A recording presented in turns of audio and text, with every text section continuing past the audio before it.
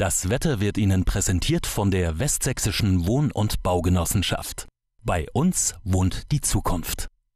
Auch morgen wird uns der teils stürmische Wind begleiten. Wolken dominieren am Donnerstag das Wettergeschehen im Sendegebiet. Immer wieder kann es regnen.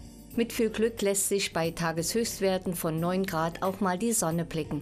Bei Werten um die 10 Grad zeigt sich am Freitag der Westsachsenhimmel trübe und zugezogen. Mit Niederschlägen ist eher nicht zu rechnen. Bei gleichen Werten wie am Vortag erwartet uns am Samstag ein recht freundlicher Tag. Sonnenschein wird dann unser Begleiter sein. Nur am Vormittag ziehen harmlose Wolken herein. Am Sonntag ändert sich nichts an den eher frühlingshaften Temperaturen. Der Himmel bleibt zugezogen, regnen soll es nicht.